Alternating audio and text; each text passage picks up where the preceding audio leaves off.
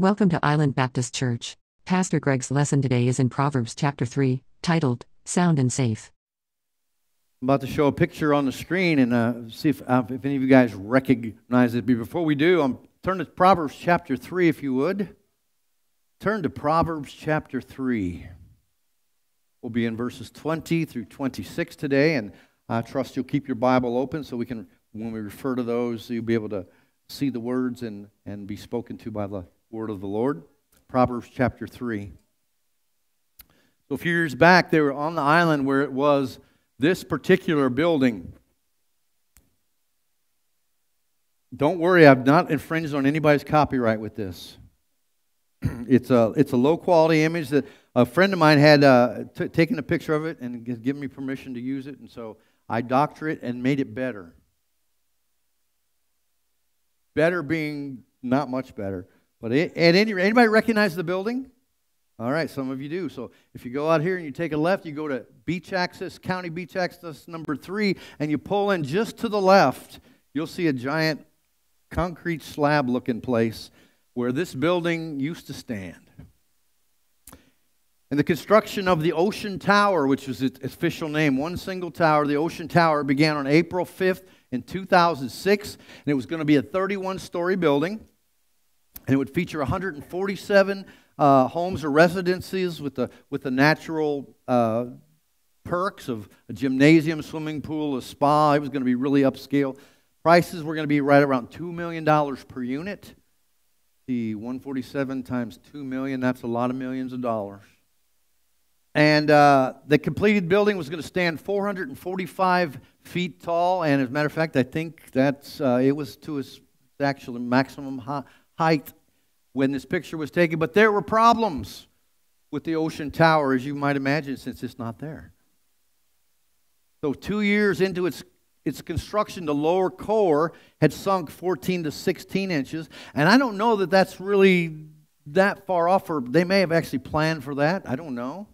But the problem was that while it had sunk 14 to 16 inches, the garage areas that were attached to it sunk at about half that rate. So they were about seven to eight inches difference, about yay much, between the actual tower and the garage unit, and they were together. And this caused some significant problems. And the piers, the pier supports, the giant, I don't know how big they were, they had to be huge for that kind of big of a building. They went 100 feet deep, and there were lots and lots of them to bear that weight. The problem was that these, these piers are designed to take vertical weight as best I understand it, and I'm not an engineer, but I, I, I do think in terms of these things, that it's designed to take weight this direction, but not at an angle. And so, as the, the six or seven inch, eight inches off began to put some horizontal stress on these, these, these giant piers that went 100 feet into the earth, and then because started having cracking and spalling and breaking, and eventually it caused the building to lean, and the tower became the, uh, became known as the Leaning Tower of Padre. And unlike the other Leaning Tower that you know of, that still stands with a lot of help, this one uh, was deemed to be unsafe and uh, it could no longer remain standing. And so in December of 2009, this 50,000 ton building was imploded, and you can go online and you can find multiple little videos of, of the eight or ten seconds or whatever it was. It was a beautiful sight. How many of you guys were there to see the implosion? If you're local, you're going like that's a big deal. Like this morning's rocket shot, you're part of history. And so people showed up, they they videoed it, and this giant, beautiful structure crashed down. And where where did the downfall take place? It didn't really take place on the day it was imploded took to take, take place. Maybe it had some wonky engineering. And if you're an engineer, you know that's a technical term. Wonky engineering, where they didn't figure it out right, or maybe the builders didn't build it right. And uh, there are still lawsuits, I think, out there trying to figure all that out. Somebody chased their money down and, and that kind of stuff. Maybe they've been settled, I don't know. But there were many lawsuits over that much money being wasted. But not only did it look crooked, it was unsound. He was unsafe. And today in Proverbs, we're going to look at those two ideas of soundness and safeness. I want us to look first in, inward here, and I'm going to ask you this question How structurally sound is your life on the spiritual side? Proverbs chapter 3, verses 20. Uh, excuse me, verse 21. My son, preserve sound judgment and discernment, and do not let them out of your sight. They will be for you like an ornament of grace around your neck. And so, how stands your life? How sound is your life? Structural soundness is built on something solid. Uh, Jesus said in Matthew chapter 7, He said, Everyone who hears my words, the word of God is the foundation. Everyone who hears my words and builds upon them is like building their house upon the rock. And if you own a place on the island, you did not follow Jesus' example. Because there is no rock. There is, this, is a, this is a sandbar. But what did they do in the Ocean Tower? They, they emulated rock by pouring all these beams, and your house can be safe if it's engineered properly. But we need to build our lives not on some fake, some fake rock, but the real rock of Jesus. So, how stands the structural spirit part of your spiritual life, of your spiritual thinking, of your decision making process? Are they built on this rock? Are you always going to the rock? to the Word for your answers? Are you caught up in what's the current thing? The culture, the culture of the day? Our reasoning and decision making process should be the kind of, of, we should build that in such a way that we can jump up and down on it. When I was about eight or nine years old, we built, we built a tree house I told the story before, but I'm going to tell it from a little different way. But we built a treehouse, and my mom had no idea it was 20 something feet in the air. She thought it was just like four or five. And we built it with our nine year old engineering brains, which were very far developed. and we also built it with the items we could find in the ditch or in my dad's um, Maxwell House coffee can. Your nail selection was based on what was in that can and that's what you built with. And, we're and 15, 18, 20 feet up, we're building these st- steps and stairs.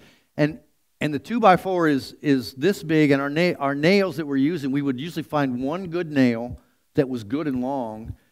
And then we put like eight or 10 other nails that just barely went into the tree. All right? And my mom comes out and sees that and goes, I, I don't even want to know. And she just went home. He said, Boys will be boys, and I hope they don't die. But we make we make the decisions based on our maturity and how mature are you in the word because that's where that's where the decision making comes out of. And that decision making should go back to those to those words, to those principles, and to those experiences that we view through the eyes of the word. When I was a kid, I remember a, a commercial where a popular watch company took a watch and they strapped it to the front of a ski. Remember this? Some ringing a bell for anybody? A long time ago. And the, and the real the professional skier skis down the, the, the mountain and he pulls pulls the watch off and they brush a little snow off it. And you know what they said? Some of you know. Timex takes a licking, keeps on ticking. And even as a kid, I, I knew that it would have been much more impressive if they'd put it underneath the ski instead of just on the tip. It was like it's not getting quite the bruising that they think they're acting like it's getting. But it's strong enough to withstand something. And as believers, God wants us to be the strong tower, not the leaning tower, not the skeptical tower where people are afraid to go. And we just wants us to be that strong tower. And our judgment should stand that test of time because it's built upon the bedrock of Jesus and who he is, not on the shifting sands of worldly ideas, not on the current, the current in vogue idea about many factors. We could go into some details we won't, but I mean, you look out in the world and they're crazy. They're just gone crazy. They're off, they're off of science and they're off of reason and they're somewhere else that we just scratch our head and we can't understand. I know we had a lot, lot of our young people from that generation, but they're not all that way. They, that, there are many of them that see through it, but for some reason it's way off.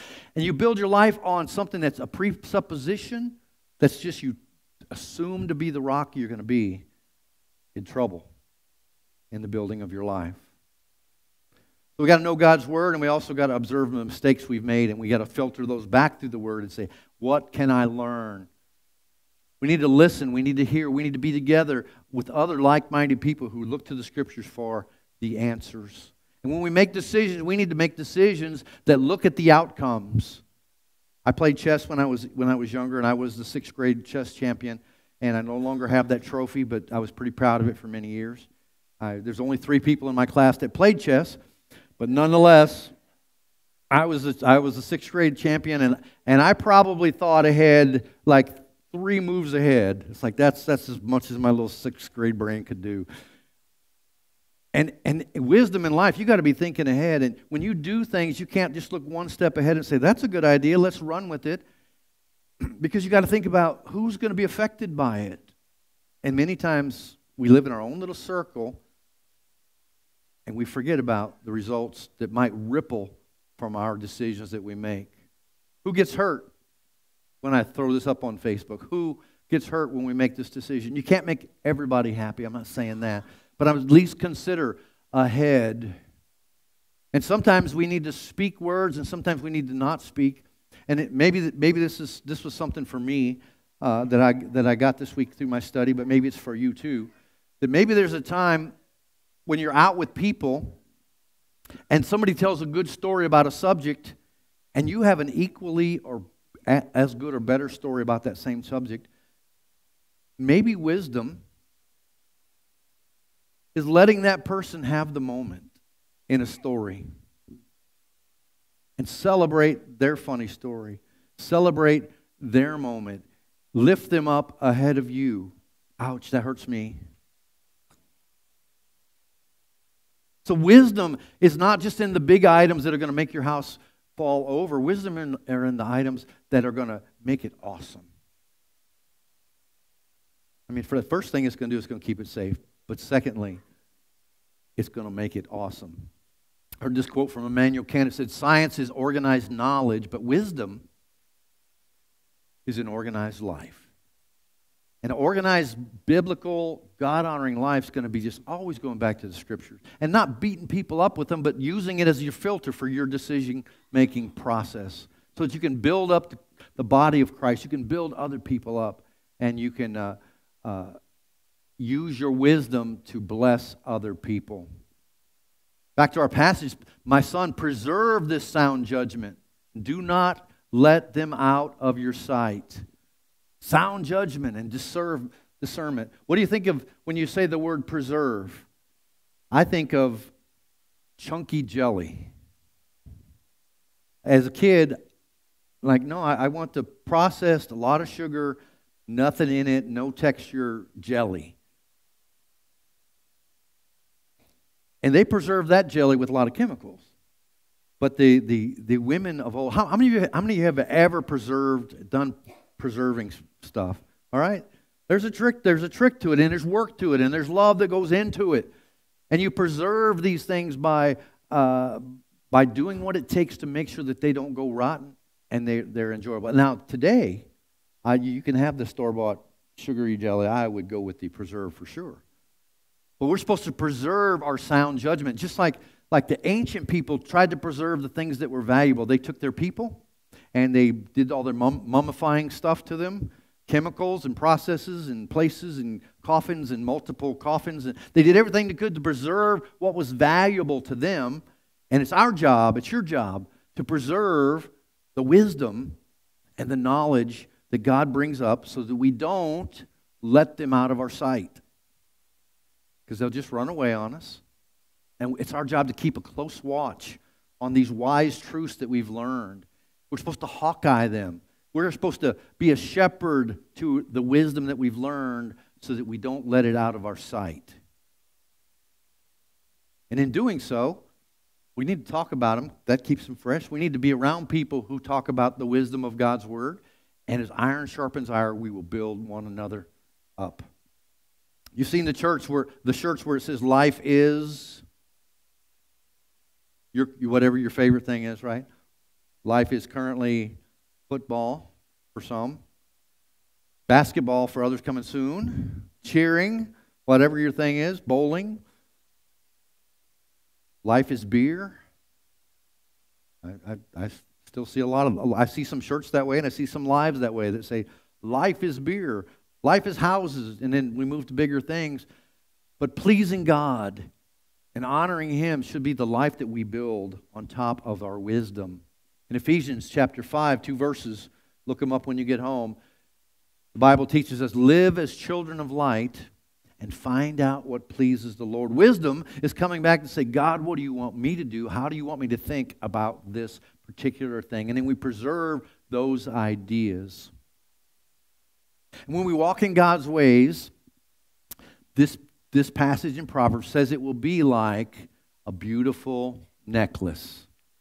All right, now I lost a bunch of you guys right there. Like, that's all good for women. No, I'm not into the beautiful necklace. But I, I want to I wanna repaint that as maybe more like, like a gold medal. Start hearing the music playing. and then there you are. You're standing there with this necklace that says it means something more than just beauty. And there's nothing wrong with the beauty part of it. But it means more than that. And around your neck is this, this, this emblem that is a reward from God. You have you have basked in the wisdom and knowledge of God, and He rewards you with a necklace about you. And it's a sign of victory. And a real necklace is a sign of victory, too. Uh, some of you ladies have shopped hard to find the victory in finding that perfect necklace. That's beautiful. And it becomes like a trophy for God. He lays that upon you. He says, Your wisdom is like wearing a beautiful necklace and it's a trophy that you can show off to other people. Anybody still here still have a childhood trophy or ribbon or button or pin? Anybody besides me? I do. All right, that's cool. Uh, you can't can't keep them all. Maybe you know if you're an NFL star, you might probably have a room full of them or something. But you know, a kill keepsake box or something. You keep like this reminds me of something. I actually have a little hand grenade in my keepsake box when I used to play with G.I. Joes. I found it in my backyard in the dirt, and there it is. And it's a, a little memento to the past, to a, a time gone by. And we wear the necklace of, of wisdom about us to remind ourselves and to remind others of how good God has been. And we, the reason we wear things is to adorn. Adorn, that's a fun word. It's not a word that's used very often. Adorn. You go home and you say it four times in a row, you'll think it's not a real word. It's one of those odd words. But here's what it means it means to make something more attractive by adding something to it, especially something beautiful. So God adorns us with this necklace, this proverbial and um, not physical necklace about us that, that does this, that. It makes us more beautiful. And it's a reminder of ourselves of, of the victory that we've won with God's strength. It reminds us of the hard work that we've put in with His encouragement. It reminds us how blessed we are from God. And then the people outside, when we adorn ourselves with wisdom, they see the extra effort we put in to be kind and to be right. They see the results of our faithfulness, and they ultimately, through the power of the Spirit of God, they see God in our very lives. And so, what's the, what's the big deal about, about a necklace? Well, here's a, here's a little art lesson from a guy who you would not want uh, giving you art lessons, but I'm going to give you one anyway. If you take a picture and you hang it on your wall without a frame, it may be a wonderful picture, but the frame you put around that picture makes a difference. And depending on the colors, and I'm not good with colors, and depending on the, the hues, you can put a dark frame around it and it'll make the picture look completely different. You could put a light frame around it. You can put a natural, and it changes the look. You can wear glasses, and it makes you look maybe a little smarter. That's why I wear these. Did you know these are just blue blockers? And they're, they're not to make me look better, but they, they do. You see, some people, they just look better with glasses. I don't know if I'm that guy or not, but the way you frame something up makes a difference in how it looks. And God is framing your life up when you walk in wisdom to other people to say, wow, there's something different. And there's something special about that person because of the wisdom that you might not even know you exude, but you put it out there and you become spiritually beautiful and attractive. And that's what draws people to Christ through us. It's Christ and me. Did we not just sing that? Yet not I, but through Christ in me. And these necklace, this necklace around us, it, you know, perhaps you can, you're thinking you can get too much of, uh, of this, this whole adornment. You can't, not in God's adornment. Maybe, maybe in real life, you know, what's currently popular will eventually be what you look back in the 70s you're going to laugh at it. Whatever's currently popular, you will at some point turn back and laugh at it. Because nothing stays the same except God's ways and God's word. So we wear our wisdom to benefit others. There's the beauty factor that they see, wow, there's something different and beautiful. And there's also the value factor when you wear a necklace. It's the materials that it's made of. It's made of experiences with God, learning from God. It's the time and intricacies. Some necklaces might be valuable because somebody handmade them. And in others, they're just valuable because who gave it to you. It might be some Froot Loops on a string, but it's valuable. And when God gives you adornment, and, and, and it's what he says this wisdom is, when you gather that wisdom and you walk in it with wisdom, he gives you a milestone, he gives you a trophy.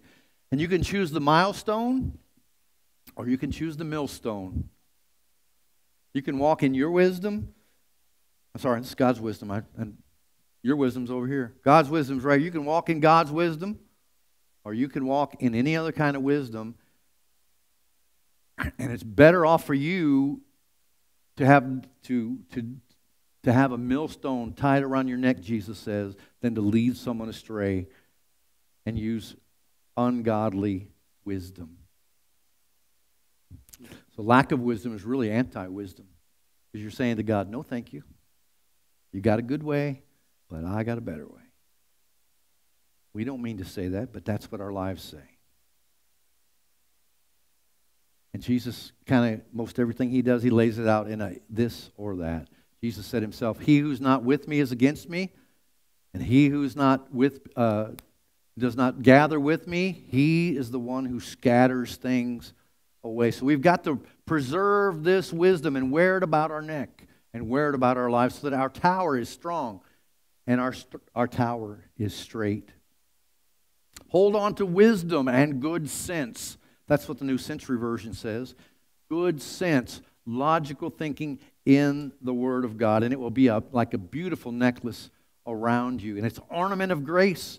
It's a sign of God's presence. When Moses was in God's presence, he physically glowed. He was the only one that really had face to face with God, and he physically glowed. And then the disciples of Christ, who were just ordinary men, went out and talked to people, and, and the crowds said about them, they said, Who are these men? Aren't they just untrained, uneducated people? And they said, Yes, but they've been with Jesus. And the glow the Moses glow and the disciple glow comes from being with Jesus and basking in his great wisdom. And what does that wisdom produce for us? Then you will go on your way in safety. Oh, there's, there's a nice little benefit. And your foot will not stumble, stumble, and when you lie down, you will not be afraid. And when you lie down, your sleep will be sweet. So, with God's wisdom comes his protection and some of that's natural because you're making better choices, but I believe a lot of that is miraculous God intervention. And if you're where God wants you to be, you are the safest you will ever be.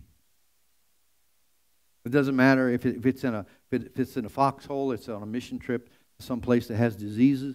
If God calls you there, that's the safest place you can be. Now, safety, the way we look at it, might be a little different. But God's safety says you're as safe as, I, as I've called you to be, and I will protect you from everything that will keep you from uh, fulfilling your purpose. So, are you safe? Yeah. Do you feel safe? Hmm. Not always. not always, but we can be safe in the knowledge that God says He has got us taken care of. So, this soundness, the stability in our life, it, it comes from God's wisdom, and it's our best chance to not be stumbling around in our lives. At least stumbling to the point where we, we disqualify ourselves. Paul said in 2 Corinthians, he said, I beat my body and I make it my slave, so that after I've preached to others, I myself will not be disqualified for the prize. We don't want to be the tower that started strong and started leaning and just people watch and people get their popcorn and hang out and watch us just fall apart. But walking in God's wisdom doesn't mean we play it safe. God's going to take us into challenging places as individuals, as a church. And we'll be over, overcoming odds and we'll be winning victories and we'll, we, we will do great things for the Lord, so he says. And the fear, the fear of those battles will subside when we walk in wisdom. And our sleep will be sweet. I have the gift of sleep. And I used to joke about that, but then I, I know a lot of people who cannot sleep and more than a couple hours at night. And I've had just a very few of those nights, and I understand that it is indeed a gift to sleep. And God says when we walk in wisdom, our sleep will be sweet. It doesn't mean it'll be perfect, but it'll be sweet. But we also have to walk in wisdom of, of, of science, too, because you can't, you can't drink nine liters of, of Mountain Dew a day and expect to have good sleep. You can't, you can't eat hot, spicy Mexican food at night at 11 when you go to bed and expect to really have a good night's sleep. Most of you. Now, some of you can. I know. You, that's, that, you roll that way. You can't be on your screen like all day long and all every. There's some there's some science, but God says if we and uh, and there's some wisdom in following science. But if we come back to God's word and we're resting in Him, we can find sweet sleep. And also, you can't talk about negative things all day and think about negative things all day and feel sorry for yourself all day and then think that you're just going to, when you turn off the physical light switch, you're going to click another light switch and your brain's going to quit because you've trained it all day long to go that route. And so we need to learn to be still and know that He's God. We need to have quiet times and we need to prepare ourselves as we add things like forgiveness to our lives, as we add controlling our thoughts and we push out worry and fear, then we can find the sweet sleep that God promises us, the sweet rest in Him. So as you walk in wisdom and victory, we'll also avoid catastrophic events, catastrophes. There are two different kind of, of, of catastrophic events. You can think of one, uh, but we'll talk about what the Bible says here first, but then we'll talk about the other. Have no fear of sudden disaster or the ruin that overtakes the wicked now note, note the difference there. It's not just it's not like the hurricanes and tornadoes that he's saying that these things overtake the wicked, meaning that they have some part in it. They they are a part of a judgment from God. For the Lord will be your confidence and will keep your foot from being snared. We all we all have a death appointment. The Bible says it's appointed unto man once to die, and it's going to happen. And uh, you may not have the same theology as I do, but you know, if I'm supposed to take a bullet for you, I will. I'll, when that time comes, I'll jump in front, and that'll be how it goes. And if you're supposed to take one for me, then then you'll do that. Um, however, it's supposed to happen. I believe that it's going to happen. Uh, everybody doesn't believe that, but when we when we put our trust in God's word, He says that we have an appointment. Then all of a sudden, it it ceases to be fearful. Stonewall Jackson was a was a Confederate general, and he was regarded as a great military mind. Although he was definitely on the wrong side of slavery, there's no doubt about that. He had a good theology when it came to his death. He said, My religious belief teaches me to feel as safe in battle as I feel in bed. God's got it. God has fixed the time for my death, and I do not concern myself about that but to always be ready no matter what or when it may overtake me. In this way, all men should live, and then all men would be equally brave. Without fear, we're going to do great things for the Lord, but if we're, we're, we're fearful, not only of death, it trickles down into, into a fear of what other people are going to say about you. I'm going to stand strong for Jesus at school. And then a time comes and fear can crop up. Am I right? It does. I don't care how spiritual you are here, here, you get out in the real world, it gets hard. So, how is your spiritual bravery going to move you forward? How is it going to move you that direction? We just have to be ready for whatever comes and then turn it over to God and believe what He says. His hand of protection will be there. As far as the wicked come, there's, there's some natural de- destruction that's going to come their ways. And maybe God does use a tornado or a, or a uh, or hurricane to judge a particular individual. But I don't believe he sends the whole thing to get one person. But, but God's the God of, of everything. And, and in every situation, God can bless you through the miss of a, of a hurricane. We have, we have on the island, we've had a lot of near misses with hurricanes. And God has blessed us, but as soon as he uh, you know, he somebody else gets it. I don't know how that works. But he can bless you in the miss, he can bless you in the rebuild. He can certainly bless you in in the death, in your death. It was one of our members who told me just recently, said that uh, wasn't too excited, you know, that her about her mother passing away, but that three people at the funeral came to Christ through it. It's hard to argue with that kind of success. I mean, you wouldn't wish one for the other, but God in his mysterious ways. But what he does promise is that you're not going to succumb to those natural, those natural consequences, those natural horrible things that, that may come.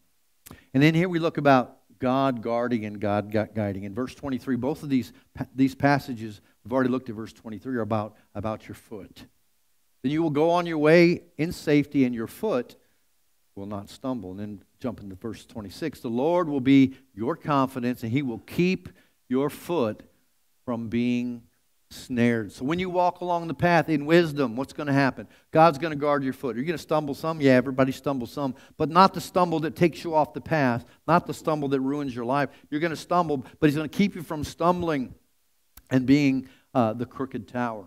And in verse 26, He keeps the evil one from snaring your foot. Ah, both of those are equal blessings, but the last one, there's always a spiritual warfare going on around us. There's stuff happening all around us we don't see, and we don't have to be concerned about it. And I know sometimes people get caught up in this spiritual warfare, and you want to figure out what that's about. Spiritual warfare out there is God's part. You do your part. He takes care of all that. But God, through wisdom, He fends off these sneak attacks as Satan would try to get you. There's no temptation that's come to you, but it's common to man, and God provides that way of escape. And you might not realize it, but God blocks the devil's plans all the time. All the time. And you don't have to be aware of it, and I'm, I'm getting a little, little emotional here just thinking about it because he does that work. I just get to be the blessed of it. But if you walk in his wisdom, he promises to keep your foot from the snare that would drag you off. He brings us back that foundation, the foundation of the Lord Jesus Christ. The Lord will be your confidence. Oh, we can live in fear if we want. But if you're a wise person, you're going to constantly be coming back, and the Lord will be your confidence. Friends and fellow believers, the Lord is our confidence. He is your rock if you're a believer. There's none like him. Do you know? Do you know this Jesus, the one who died on the cross to take away the sins of the world? The Jesus who brought himself back to life through the power of God that he was. Lived on earth 40 days or so and then went back to heaven, coming back again. Do you know this Jesus? The old hymn, it says, On Christ, the solid rock, I stand. On who He is. We stand on that. We build our life. It's a testimony to those around us.